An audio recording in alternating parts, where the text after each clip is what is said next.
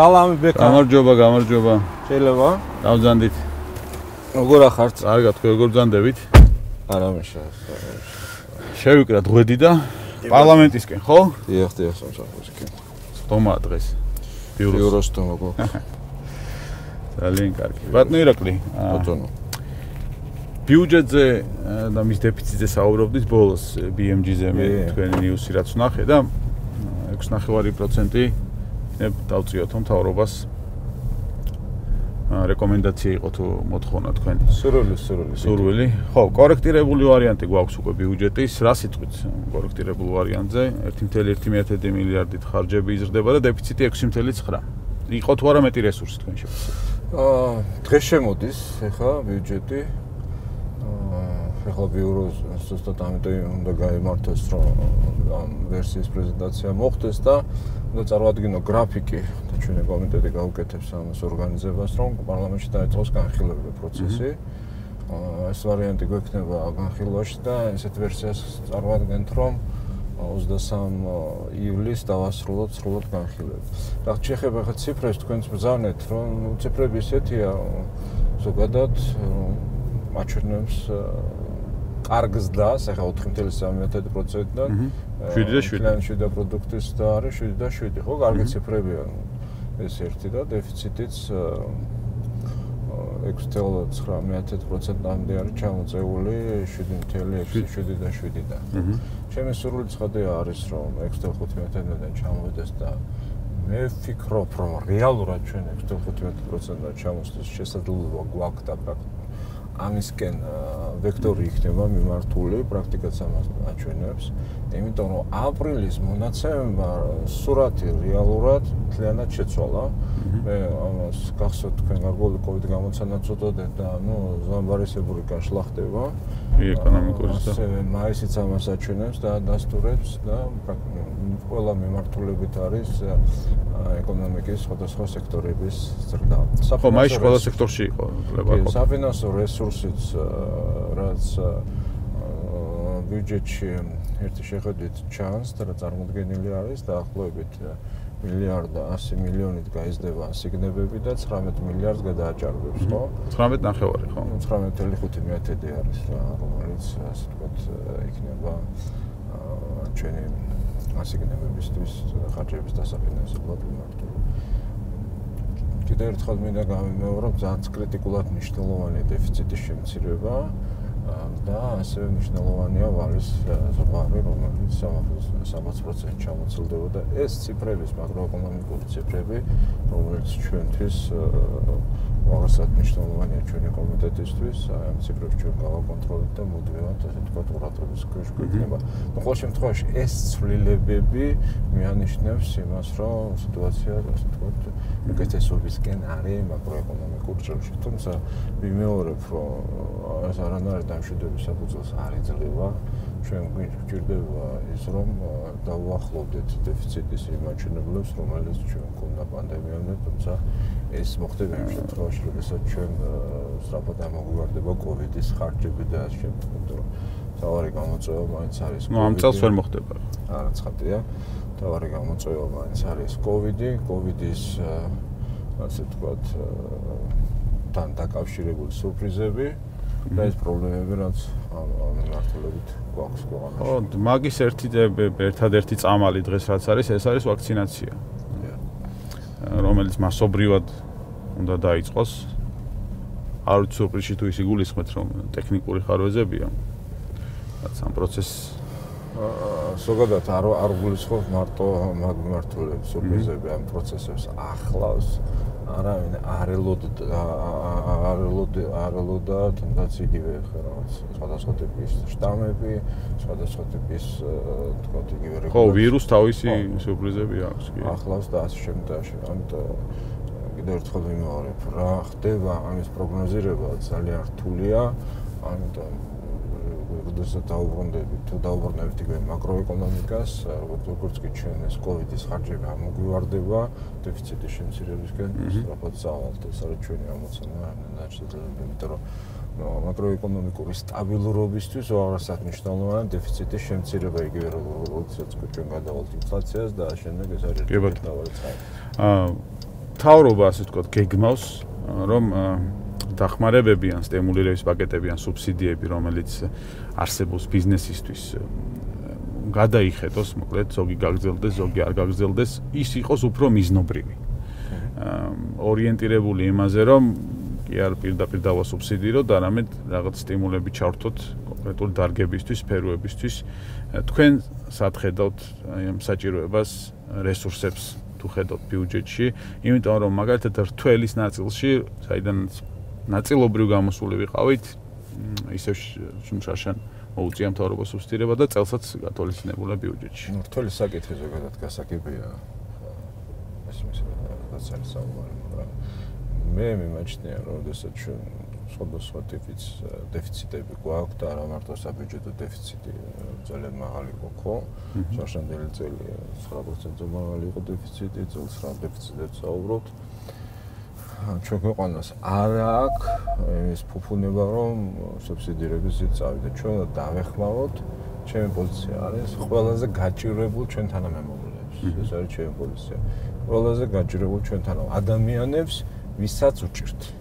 უჭირს თავის გამოკვება ოჯახის შენახვა აი ამ დონეზე უნდა იყოს. ეს ეს არის ჩემი პოზიცია ეს ერთი. მეორე თუ ხდება რაღაცა სექტორული მიდგომა უნდა გქონდეს სისტემა. გაგრძელოთ მე ასე ვთქვი, მეტრიზებად სისტემას, რომელიც მოგცემს საშუალებას, რომ შევაფასოთ, რა სიძლევა ეს, რა არის რეზულტატი ამისა, როდესაც თქვა სექტორულად რაღაცა დარგს ვეხმარებით. და რატო ვარჩევთ ამ დარგს და თუ არ ვარჩევთ სხვა დარგს? კი ბატონო, თქვენ მათემატიკოსი ხართ, თულა გიყვართ, ანუ ეგეც დათვლადია, ხო რეალურად? მათემატიკოსი ბანკირი და ანუ ზუსტად ვამბობ ამას, რისი თქმაც მინდა ამ შემთხვევაში, საერთოდ პოზიცია. რომ უნდა დავთვალოთ.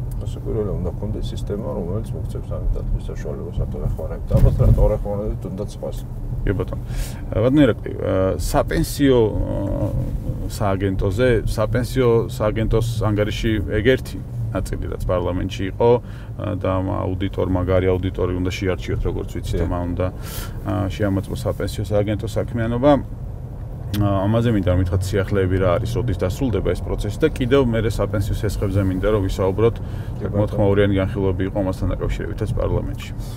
ეს პროცესი ჩვენ რეგლამენტით გვაქვს დავალებული და იგივე საპენსიო სააგენტოსთან დაკავშირებით და არა მარტო საპენსიო სააგენტოსი.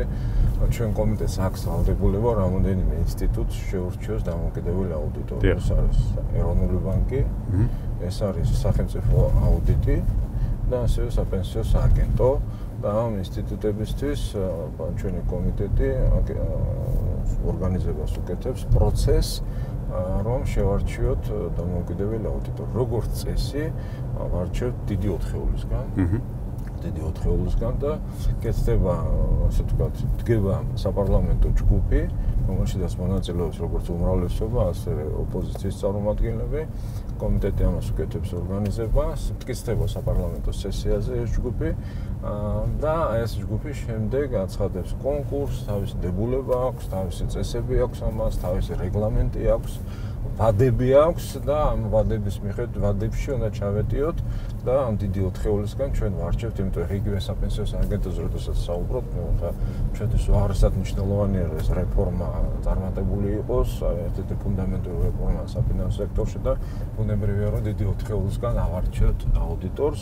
ორი წლის განმავლობაში იქნება ესა ვადა გვაქვს ჩვენ რომ ამ წლის ნოემბრამდე ავარჩიოთ ეს აუდიტორი, ნუ გარკვეული პროცესები დაწყებული გვაქვს სესიაზე დამოუკიდეთ ეს საკონკურსო კომისია ამ კომისიის ხელმძღვანელი კომიტეტის თავმჯდომარეა თანამდებობით ხდებებს და არაგვარი დასახელით. ამ შემთხვევაში მეორეგა და ამიტომ ეს დიდი ოთხეულისგან მოხდება შერჩევა და ფიქრობ რომ ვადაში ჩავეტევით და ნუ რა ისედაც საინტერესოა ხო როგორ მოხდება ამისი შეფასება და შემდეგ და როდესაც ლეური ანგარიშს წარმოადგენს საპენსიო საანგარიშო მას დაერთვება თან. აუდიტის აუდიტის დასწრა ასე ხდება ეროვნული ბანკის შემთხვევაში ასე ხდება სახელმწიფო აუდიტი. სახელმწიფო აუდიტთან დაკავშირებით ცვლილება განმახორციელოთ იმ პროცესითაც რომ უწინ საპარლამენტის კომისია აკეთებდა მის აუდიტის და ჩვენ ახლა ეს პროცესი ეროვნულ ბანკთან დაკავშირებით რაც უნდა პარალელურად გადავიტანეთ სახელმწიფო აუდიტთან დაკავშირებით და მაყოფილი ვართ იმიტომ რომ ხარისხი უკეთესია და ხედავთ პროცესებში უფრო მეტ ასე თქვა პროგრესს ამემართულებ და დასვენსაც გითხულობთ კი ბატონო საპენსიო სესხებს რაც შეეხება მის პროცენტზე კონკურენცია რეალურად თქვა რასაც ოპოზიციური ფთის წარმომადგენლები ითხოვენ რომ კონკურენცია გაჩნდეს ანუ არ იყოს ლიბერტი ერთადერთი ბანკი რომელიც საპენსიო სესხებს გასცემს შესაბამისად პენსიებს გასცემს და უზრუნველყოფას აქედან გამომდინარე იღებს. აა შეცვლის თუ არა სურათს რეალურად?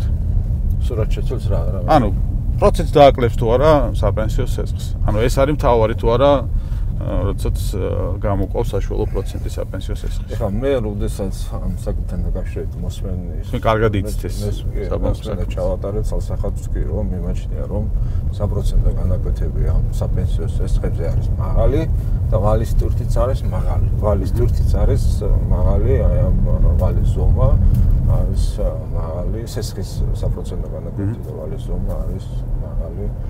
საპენსიო სესხებში ეს არის ჩემი პოზიცია. საერთოდ მიმაჩნია რომ პენსიონერები ეს არის ყველაზე ღირსეული ნაწილი ჩვენი საზოგადოების და ყურადღებით უნდა მოეპყრათ მათ რაც შესაძლებელია უნდა გაკეთდეს და პენსიებიც უნდა გაეზარდოს ამას ვაკეთებ ჩვენს დიდ შესაძლებელია თუ არა კიდევ უფრო მეტად გაეზარდოს ეს დამოკიდებულია ბიუჯეტზე და ამ მაგრამ ყოველ შემთხვევაში ამ ადამიანებს ჭირდებათ მეტი ყურადღება, მეტი მოფრთხილება და შემდეგ და შემდეგ და შემდეგ, ხო? და ეხლა ეს პროცესები საკმაოდ დინამიურად ვითარდება პარლამენტში, თქვენ მოთხოვთ სამუშაო ჯგუფები, ოპოზიცია თალკე ითხოვს თემების განვითარებას და ითხოვდა და ითხოვს, ასევე პარლამენტის თავმჯდომარესთან ჯგუფი შეიქმნა, რომელშიც თქვა მონაწილეობს კიდეც როგორც მორალესობა, ასევე ოპოზიციის წარმომადგენლები და ლიბერტი ბანკის, ასე თქვა, მაღალი მენეჯმენტი და ხელმძღვანელის აქციონერების ჩათვლით. ნუ მათ განაცხადეს, რომ გარკვეული ცვლილებებს ამ გარდამავალ პერიოდზე პერიოდში მოახდენენ ლიბერტი ბანკი თვითონვე ეს ერთი მერე მეორე ასევე დაინტერესებად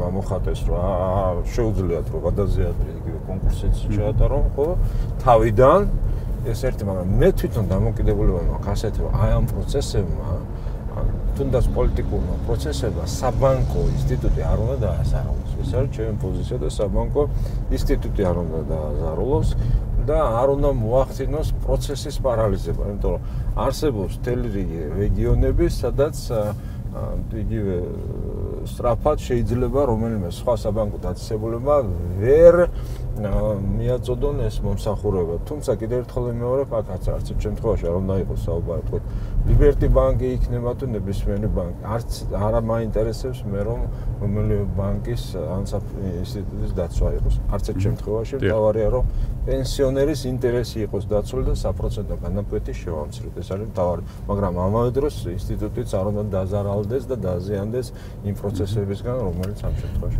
ტექნიკურად რამდენ შესაძლებელია რომ სხვადასხვა ასე თქვა ბანკებში შეირიცხოს პენსიები. იცით რა, მე ვფიქრობ ზოგადად ეს შესაძლებელია შეუძლებელი არ არის. ვფიქრობ რომ აი ეს უნდა გამოჩნდეს ამ კონკურსის ორგანიზების დროს, რომელსაც თქვა თავრობა ჩაატარებს, თავრობა უნდა გაუკეთოს ამას ორგანიზება, ჯანდაცვის სამინისტრო, ოფინანს სამინისტროც აქტიურად ჩაერთვება, იმიტომ რესურსებს მოიზიდავს. ეროვნული ბანკიც უნდა იყოს ჩართული, ნუ ბანკის უნდა ქონდეს ამის ინტერესი. ხა და ვთქვათ რომ შეიძლება ზოგიერთ ბანკს კონდეს ინტერესი, ზოგიერთ ბანკს არ აინტერესებდეს რა ამის ეს. კონკურსი რო იყო ლიბერტი იყო მარტო იქ. ხო, ლიბერტი იყო, იმიტომ ლიბერტი სააქს ამ ინფრასტრუქტურა ჩვენ მოსმენაზე ნახეთ გენერალ დირექტორი ხო მოსულ და ვინახეთ რომ ინფრასტრუქტურა აქვს, მას იგივე ინკასაციის ინსტიტუტი აქვს, მომზადებული ინკასატორები ყავს და მთელი რესურსი აქვს ამის შეჭადებული. მაგრამ კიდევ ერთხელ მეორე მათ აქვს სურვილო თავიდან ჩატარდეს ესა და ამიტომ ეს დავინახე ეს პროცესი დავინახე რომ უნდათ მაქვს რომ თქო ამ ტვირთისგან განთავისებდნენ კიდევაც და შემსუბუქებული იყოს ეს და რამდენად არის შესაძლებელი ეს უნდა მოახდინოს და გამოავლინოს ახალმა კონკურსმა. რაც რაფად ჩატარდება ეს კონკურსი მე ვფიქრობ უკეთესი იქნება კიდევ ერთხელ ვიმეორებ მიმოჩნია რომ საპროცენტო განაკვეთი ამ სესხებზე არის მაღალი და ვალის ტვირთიც არის მაღალი საერთოდ ჩემი დამოკიდებული ახ ეს რა უცნაური შემთხვევაა რაღაცა დაგვიჭდა ბატონო ირაკლი, სანამ გადავიდოდეთ BMG Drive-ის თავისუფალ სივრცეზე, მინდა კითხოთ პარლამენტის შემთხვევაში თქვენ როგორ ხედავთ ამ ინსტიტუტის როლს ქვეყნის განვითარების გზაზე? ჩემი აზრით, მთავარი ინსტიტუტია საპარლამენტო ქვეყანაში და ზოგადად საქართველოში მით უმეტეს დემოკრატიის დაცვის თავარი ფუნდამენტი არის.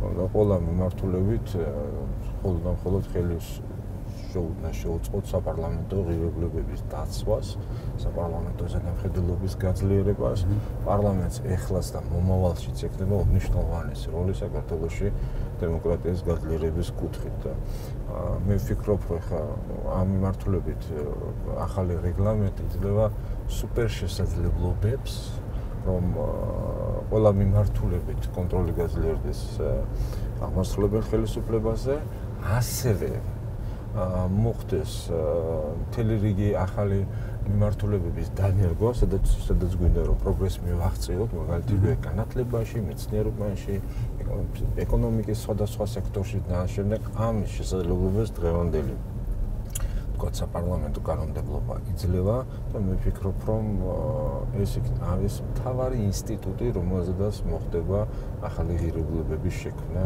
ქვეყანაში და ჩემი დამოკიდებულება საქართველოს პარლამენტის მიმართ. ასევე ლეგიტიმაციის მთავარი წყაროც პარლამენტი დღევანდელ დღეს და მომავალშიც ეს უნდა იყოს. კი ბატონო. განათლებაც ახსენეთ პრინციპში ამ თემაზეც მინდა რომ გადავიდე. ну ჩვენ როცა ეკონომიკაზე ვსაუბრობთ რაღაც ქვეყნის განვითარებაზე, ну განათლების garaშე ტყუილად ვსაუბრობთ, ანუ ხო, განათლება აქ ყველაზე მნიშვნელოვანი განვითარების გზაზე სulis პროცესში. თქვენ ასევე ჩართული ხართ საგანმანათლებლო საქმიანობაში, ხო? პარლამენტის ამ დეპუტატებთან გამოსვლა უფრო რთულია თუ სტუდენტებიც ავსი აუდიტორიაში თქვენთვის? სიმართლე გითხრათ, ახლა არა მაქვს სრულად განსაკუთრებული შედარება გავაკეთო. ორივე მიმართულებით ძალიან საპასუხისმგებლოა. მომზადება ჭირდება. აა ძინა დღეს, ძინა ღამეს თუ ძინა დღეების განმავლობაში ნებისმიერ გამოსვლას და ორივეგან ძალიან საპასუხისმგებლოა ყველგან. ყველა მიმართულებით მე რომ კითხები არსებობს. კრიტიკული ყველა მიმართულებით და ნებისმიერ პასუხისგებლიანი ადამიანი გამოსვლისთვის უნდა ემზადებოდეს და სხვანაირად შეუძლებელია. რაც შეეხება განათლებას, მინდა გითხრათ, რომ ერთი რამე მაქვს დანახული, რომ ჩვენი ტიპის ქვეყნებში ბექა აა საქართველოსში საკუთრებით ძალიან ცირე რესურსი არსებობს ეკონომიკაში, რომ რაიმე განსაკუთრებული გარღვევები მოახდინოთ. ეს როგორც აქსიომატიკა ესე არა მაგრამ არის მიმართულება, სადაც ჩვენ შეგვიძლია სერიოზული პროგრესი ვქონდეს და ეს არის განათლება. და ქართულ კაცს, ქართულ ადამიანს და ქართულში არ გულისხმობ გენეტიკურად ქართულს მე შემთხვევაში მარტო. გვაქვს ამის შესაძლებლობა. აა ამის შესაძლებლობა მე დანახული ვარ, მაქს მე ჩემი პირველი განათლება არის მათემატიკა, მათემატიკოსი, შემდეგ ვარ ეკონომისტი, ფინანსისტი და ეს დანახული მაქვს და ვიცი. თუმეტეს უზარმაზარი სკოლები გქონდა, რომ აქ არის სერიოზული პოტენციალი. ჩვენ შეგვიძლია ჯერ კიდე რომ მივახციოთ სერიოზულ წარმატებებს. ასათვისებელი. ასათვისებელი და ამავე დროს არის დაკარგული შესაძლებლობები, კონკრეტული თაობები, კი ბატონო. ჩაიკარგა დამოუკიდებლობის წლებში, რომ საბჭოთა პერიოდში ფუნდამენტური მეცნიერებებში იყო სერიოზული მიღწევები, რომელიც გაქრა. და არსებობს ჯერ კიდევ შესაძლებლობები, რომ ეს დარგები განვითარდეს, წავიდეს წინ, სპეციალისტები მოამზადოთ და ასე შემდეგ, იმიტომ რომ იმ პერიოდში ისეთი დარგები იყო განვითარებული, გვერდით ჩვენ სამეზობლოშიც კი არ არსებობდა, ამიტომ ამის პოტენცია არსებობს და ჩვენ ეს ქართველებს შეგვიძლია გავაკეთოთ. ჩემი წარმოდგენა აქ არის და ეს განათლება არის ის სფერო, სადაც ჩვენ შეგვიძლია მივახციოთ წარმატებას. აი აი ფონზე რაც მე ვთქვი, რომ საქართველოს ტიპის ქვეყანას ეკონომიკაში არ აქვს ისეთი განსაკუთრებული რესურსი, რომ გარღვევა მოახდინოთ, ამ დროს გვაქვს ასეთი სეგმენტი, სექტორი განათლება, სადაც ჩვენ შეგვიძლია ვაკეთოთ. ხო, მithumetes თანამედროვე ეკონომიკა ტექნოლოგიებით განათლები ძალიან ბევრი რამის შეცვლა შეიძლება და შეიძლება უდიდესი რესურსების მობილიზება ფინანსურ ზღულის ხმობა ქვეყნისთვის. მაინც და მაინც ფუნებრივი რესურსები არ არის საჭირო. კარგია, მაგრამ საერთოდ ჩვენ ბევრი არ გვაქვს. ბატონო, თქვენ როდის მიხვდით, რომ ჰუმანიტარი არ იყავით? და უფრო ტექნიკური მიმართულებით წახვიდით. მე მიხვდი სკოლაში, სკოლის პერიოდიდან. მე ვარ მათემატიკოსი, სკოლის პერიოდიდან უკვე მათემატიკა ძალიან მეყვარდა და ნოვატური ინსტიტუტები. მე დავამთავრე, ნუ სკოლის დამთავრების შემდეგ დავამთავრე ჩემი პირველი სპეციალობა არის აა მათემატიკას დავამთავრე, ეგრეთ წოდებული მეხმად, მექანიკა მათემატიკის ფაკულტეტი თბილისის სახელმწიფო უნივერსიტეტის ჩვენი უნივერსიტეტის აა ზარი 85 წელი 84 წელი 84-ში შემდეგ ასევე დავამთავრე ასპირანტურა, მე ვარ წმინდა მათემატიკოსი, ტოპოლოგი ვარ, მოგწევით. ალგებრა გეომეტრიის კათედრა. შენ ასევე ასპირანტურა დავამთავრე. შემდეგ ასპირანტურა და დავიცავე საკანდიდატო დისერტაცია. ესე ნუ საბჭოთა კავშირი ამიტომ ჩვენი მათემატიკა ერთიანი მათემატიკური სკოლა იყო, ბუნებრივია ამიტომ ჩვენ ეს დისერტაციაზე მუშაობდით, მოხსენებებს აკეთებდით, იგივე როგორც თბილისში, ასე ჩვენ მაგალითად ჩემი დისერტაციის პროსა დისერტაციო პროცესში ჩართული იყო სტეკლოვის სახელობის მათემატიკის ინსტიტუტი, ლომონოსოვის სახელობის უნივერსიტეტის ალგებრა გეომეტრიის კათედრა. მოხსენებები გავაკეთეთ მაგალითად მე განზომილების თეორიაში მუშაობდი, მეზოკომპაქტური სივრცეების განზომილების თეორიას სწავლობდით. რამდენიმე ადამიანი ვიყავთ ესეთი და სანამ დისერტაციას დავამთავრებდი, მოხსენებები გავაკეთეთ. მაგალითად დღეს ახლა აღმოსავლეთ ევროპის ვაკვაყანა ასეთ, ხო, ყველა რესპუბლიკა კიევში, ბალტიისპირეთის ყველა ქვეყანაში, მოლდოვაში და ამ შემდეგ ეს მოხსენებებს როდესაც დავასრულეთ, დავამთავრეთ, მე გვეუბნებოდნენ ჩვენ რა თქვა დისერტაციას ატან შეგვიძლია გააფრო და შემდეგ და 1990 წელს დავიცავე დისერტაცია ფიზიკა მათემატიკის მეცნიერებათა კანდიდატის ხარისხს და მომწეს ის ვაკის დიპლომი. რამდენიმე ადამიანი მეყავი ჩვენ ესეთი განზომილების თეორიაში. სწავლობდით იმ სივრცეებს, რომელთა განზომილება მეტი ანტოლია 3-ზე. ანუ ასეთ სივრცეებს ადამიანები ვერ ხედავენ. ო, არა საინტერესო. ხო, ну მე რამდენიმე წელი ჩვენს უნივერსიტეტში მუშაობდი მათემატიკის ფაკულტეტის ყველა საფეხური მაქვს უნივერსიტეტში კალი დოცენტი ვიყავ. პარალელურად დავიწყო მუშაობა საბანკო სექტორში, შემდეგ დავამთავრე ჩვენი უნივერსიტეტის ასევე ეკონომიკის ფაკულტეტი ფინანსების სპეციალობით. ოღონდ უკვე უნივერსიტეტის დოცენტი ვიყავ, ესე დავამთავრე ეკონომიკის ფაკულტეტის ფინანსების სპეციალობა. დავამთავრე ასევე ლონდონის უნივერსიტეტში, უნივერსიტეტის ევრობანკის კუთხით, აგერ ხარ მაშინ. აა ლონდონის უნივერსიტეტის უმაღლესი საფინანსო და საბანკო სკოლა. საქართველოს ვიყავი ორი ქართული ბანკის ხელმძღვანელი. სერიოზულად ერთი ძალიან დიდი, მაგრამ რამდენ წლების განმავლობაში ევრობანკის სისტემაში მუშაობდი საზოგადოებრივ 4 ქვეყანაში, რამდენი ბანკის სამეთვალყურო საბჭოს წევრი, ბანკის წარმომადგენელი და ასე შემდეგ. საკუთარ უყე გამოცდილება კი საფინანსო სექტორში მუშაობ.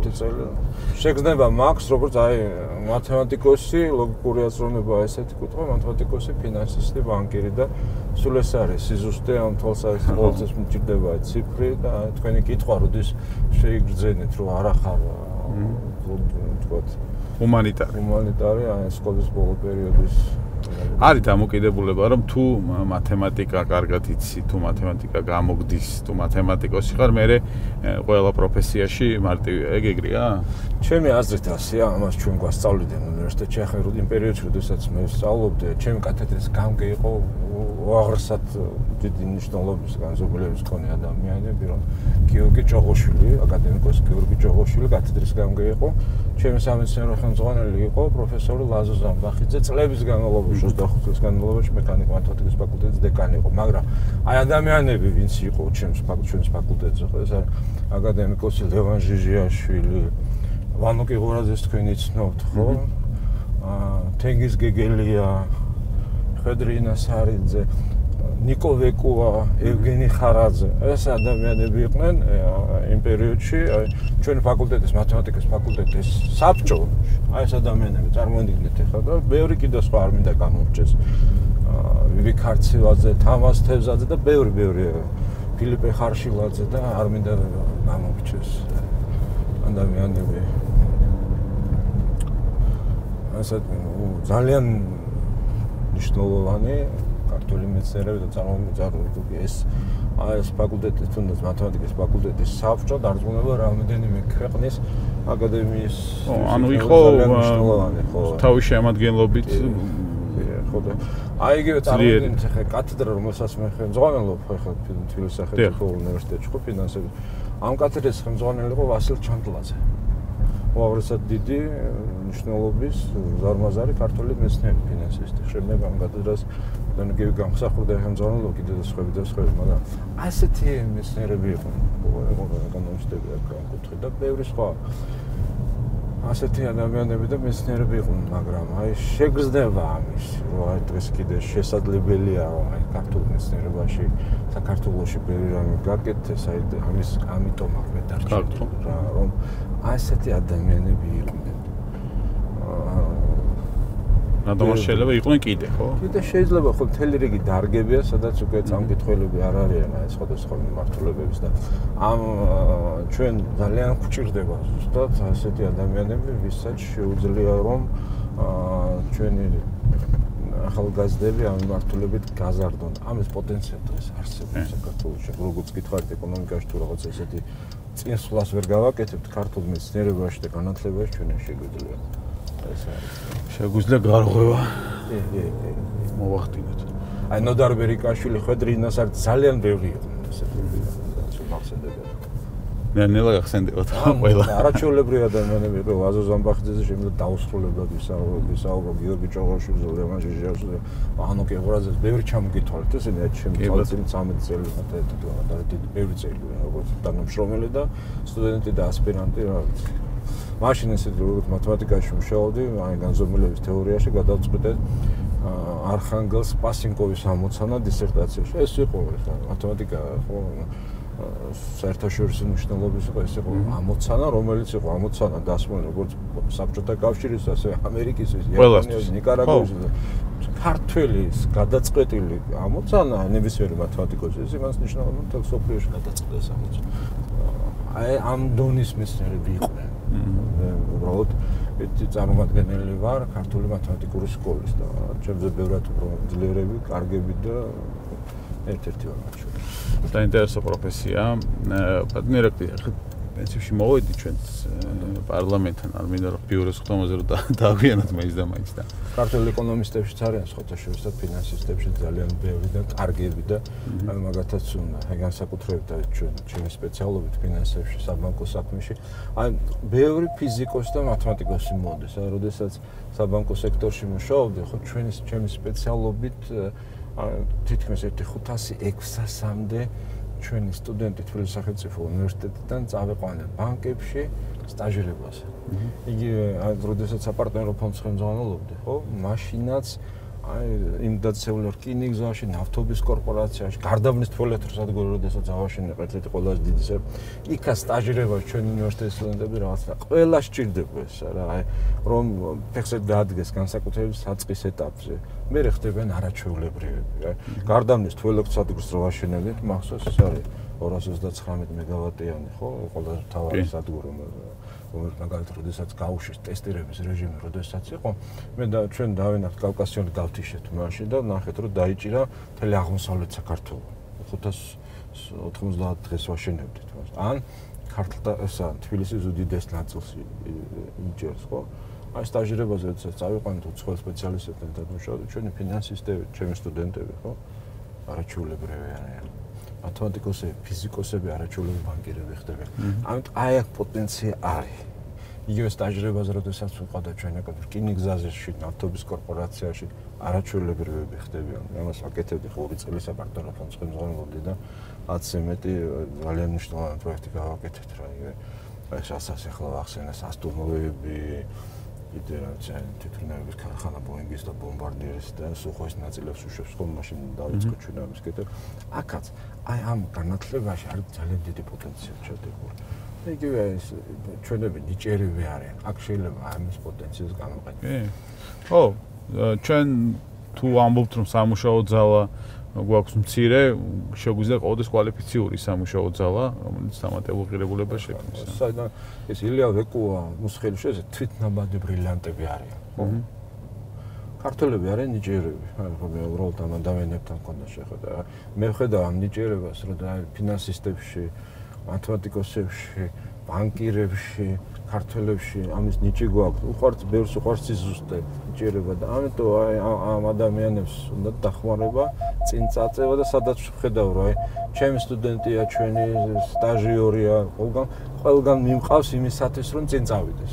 ძალიან მე რა აი 500-600 ადამიანი ბავშვი, ბავშვი ძახთით მაშინ რაღაც ბავშვი სტუდენტი შეიძლება ბავშვი ძახთით, მაგრამ ყოველთვის მიყავდა იმისათვის რომ ო და ეგეც მითი არა ისო მათემატიკოსები ყველა პროფესიაში ოჯახები არიან და ფიზიკოსები კი ბატონო. აა ბატონო ჩემ ჩემი ინტერვიუს სივრცეზეც მინდა მითხრათ როგორ მოგეწონათ. ძალიან მომეწონა და მომწონს არაფორმალური გარემოა შესაძლებელია ბევრი საკითხები საუბროთ. მე ვფიქრობ რომ დრო ნაკლებია, უფრო მეტი დრო იყოს უფრო ბევრ საკითხებზე შეიძლება საფხული ეშვებულება რომ დაიწყება ფინანსების და საბანკო საკითხების გარდა ფართო საკითხები კულტურას შეიძლება შევეხო და ცნობილ ადამიანებს და ამ შემდეგ. საერთოდ მე მომწონს თქვენი პროგრამები. და ძალიან აქტიურად უყურებ და გულშემატკივრობ ყველა იმ გადაცემას რომელიც თქვენ ფორმატში არის და თქვენ ტელევიზიებში მედის და ამიტომ მიყვარს ოდესაც ახალ რაღაცას ხედავ თქვენთან პროგრესს ხედავ და მადლობა მე ისკენ მიდრეკილი ხართ. ჩემი ხრივ მინდა მადლობა გითხრათ ჩართულობისთვის, რომელიც გაქვთ თანამშრომლობისთვის, რომელიც თქვენთან არ გვიჭირს და ყოველთვის ზად ხართ, რომ კითხვებზე გქონდეთ საინტერესო პასუხები და არ დაგზარდეთ, მოკლედ მიუხედავად იმისა, რომ საკმაოდ ბევრია სამუშაო პარლამენტში. მადლობა სტუმრობისთვის, წარმატებები მინდა გესურვოთ. თქვენს პრინციპში პარლამენტიც ასრულებს ახლა სამუშაო სეზონს და აქტიური ინგლისის თუ გვექნება, იმიტომ რომ წინ გვაქვს ცხელი ცხელი ცხელი რა, იმიტომ რომ ბიუჯეტი თქვენ ახსენეთ, ასე წლიური ანგარიში არის ეროვნული ბანკის მოსასმენ, წლიური ანგარიშია სახელმწიფო აუდიტის. 2020 წლის შესრულება ეს მთავრობის. ნუ თელეს პროცესები წინა გვაქვს, ხო, ნუ ეს ისედაც ხელა და შეგნი პროფილით, ამიტომ ეს პროცესები წინ არის და ნახოთ როგორ წავა ეს პროცესი. წარმატებებს გისურვებთ. ყველაფერი გაგონებისათვის და მადლობა თქვენ. მადლობა. კარგად იყავით. ნახვამდის. წარმატებებს თქვენს.